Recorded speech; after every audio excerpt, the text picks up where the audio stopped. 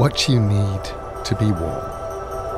A baked potato of a winter's night to wrap your hands around or burn your mouth. A blanket knitted by your mother's cunning fingers or your grandmother's. A smile, a touch, trust as you walk in from the snow or return to it.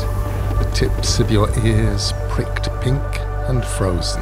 The tink, tink, tink of iron radiators waking in an old house. To surface from dreams in a bed burrowed beneath blankets and comforters. The change of state from cold to warm is all that matters, and you think, just one more minute snuggled here before you face the chill. Just one. Places we slept as children. They warm us in the memory. We travel to an inside from the outside to the orange flames of the fireplace or the wood burning in the stove. Breath ice on the inside of windows to be scratched off with a fingernail, melted with a whole hand. Frost on the ground that stays in the shadows, waiting for us. Wear a scarf, wear a coat, wear a sweater, wear socks, wear thick gloves. An infant as she sleeps between us. A tumble of dogs, a kindle of cats and kittens.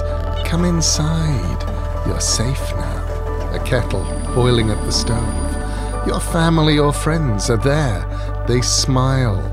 Cocoa or chocolate, tea or coffee, soup or toddy, what you know you need. A heat exchange, they give it to you. You take the mug and start to thaw, while outside, for some of us. The journey began as we walked away from our grandparents' houses, away from the places we knew as children, changes of state and state and state to stumble across a stony desert or to brave the deep waters while food and friends, home, a bed, even a blanket become just memories. Sometimes it only takes a stranger in a dark place to hold out a badly knitted scarf, to offer a kind word, to say we have the right to be here, to make us warm in the coldest season. You have the right to be here.